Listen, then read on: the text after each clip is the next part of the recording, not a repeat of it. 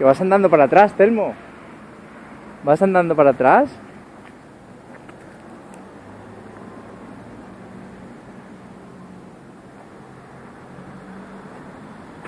Muy bien.